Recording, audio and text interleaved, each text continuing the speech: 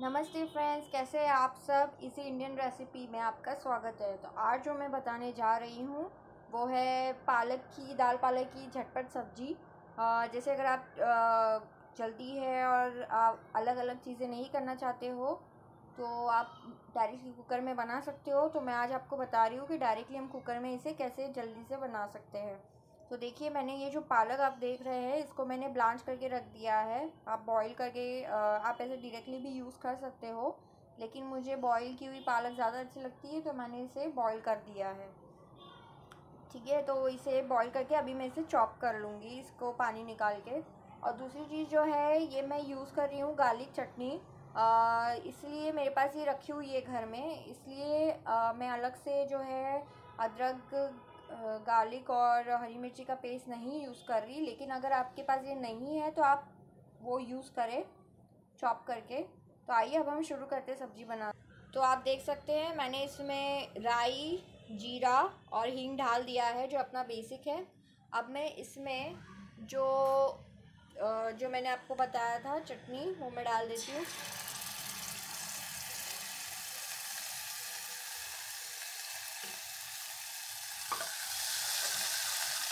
और इसे हम मिक्स कर लेते हैं। आपको याद है ना, मैंने आपसे कहा है कि अगर आपके पास ये नहीं है तो आप गार्लिक जिंजर और हरी मिर्ची का पेस्ट अलग से बना के इसमें डाल दीजिए। और अब मैं इसमें डाल दूँगी मेरे चॉप्ड अनियंस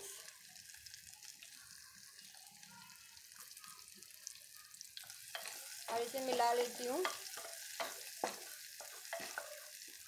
ज़्यादा मिलाने की या ज़्यादा पकाने की ज़रूरत नहीं है, क्योंकि एनीवेज हम सीटी लगाने वाले हैं तो वो अपने आप पक जाएगा। फिर मैं इसमें डाल दूँगी टमाटर, क्योंकि हमारी झटपट रेसिपी है तो हमें इसे जल्दी जल्दी बनाना है। तो देखिए, मैंने इसमें टमाटो भी डाल दिया है, मैं मिक्स कर रही हूँ इसको।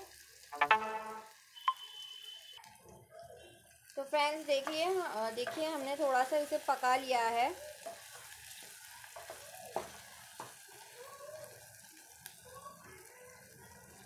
हमने पका लिया है, देखिए। तो अब हम इसमें जो हमारे टॉप चॉप पालक है, जो मैंने ब्लांच करके डाले हैं, वो मैं इसमें डाल दूँगी। इसे मैंने फाइनली चॉप कर दिया है और मैं इसे मिक्स कर दूँगी।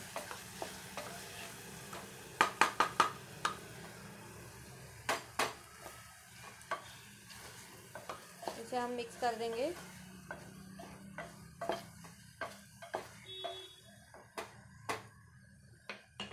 और अब हम इसमें मसाले डाल देते हैं, जैसे कि मैंने इसमें हरी मिर्ची नहीं डाली है तो मैं इसमें लाल मिर्ची डाल दूँगी।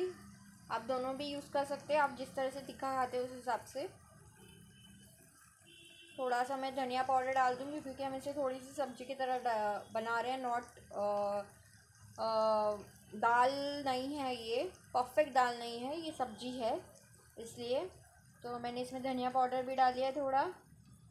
फिर हम इसमें हल्दी पाउडर डाल देंगे और फिर इसे मिक्स कर देते हैं।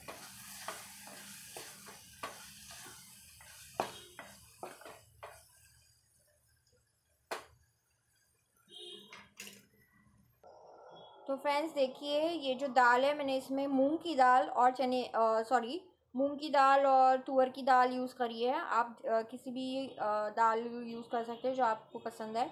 तो मैंने इसमें दो दाल इसको मैंने भिगा के रख दिया था फोर्टी फाइव मिनट्स पहले। आप चाहे तो आधे घंटे पहले भी भिगा के रख सकते हैं। तो देखिए, इस तरह से ये फूल चुकी है। अब मैं इससे हमारी कुकर में डाल देंगे। तो देखिए, अब मैं ये जो दाल है, इसे डाल रही हूँ। तो फ्रेंड्स देखिए मैंने इसमें हमारी दाल डाल दी है और मैं इसे मिक्स कर लेती हूँ। अभी आपको अगर दा, गाढ़ी दाल चाहिए तो पानी कम डालिए और पत्ती दाल चाहिए तो पानी डाल दीजिए। अब हम इसमें स्वाद अनुसार नमक डाल देते हैं।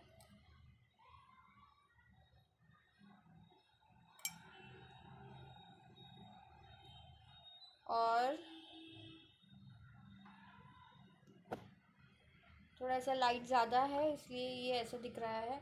और थोड़ा सा मैं इसमें पाव भाजी मसाला डाल दूँगी, इससे टेस्ट आता है। एकदम चुटकी पर आप चाहे तो स्किप भी कर सकते हैं। और जो मैं नेक्स्ट इसमें डाल रही हूँ, वो है किचन किंग मसाला आप, या गरम मसाला भी डाल सकते हैं, पर किचन किंग मेरा पर्सनल फेवरेट है तो मैं ये डाल रही हूँ। और फिर हम इसे मिक्स कर लेते हैं, और ढक्कन लगा के हम इसे चार सीटी या तीन सीटी। गाढ़ी चाहिए तो चार, और मीडियम चाहिए तो तीन करके हम इसे लगा देते हैं ढक्कन।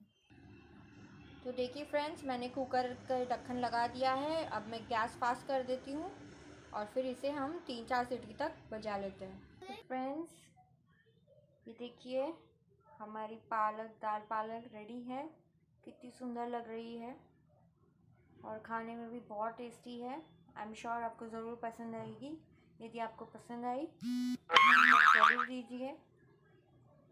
और आगे की रेसिपी के लिए सब्सक्राइब करना ना भूलें। और बेल आइकन दबाएँ ताकि आपको आने वाली रेसिपीज़ की नोटिफिकेशंस मिलती रहे। जब तक के लिए take care eat healthy stay healthy bye bye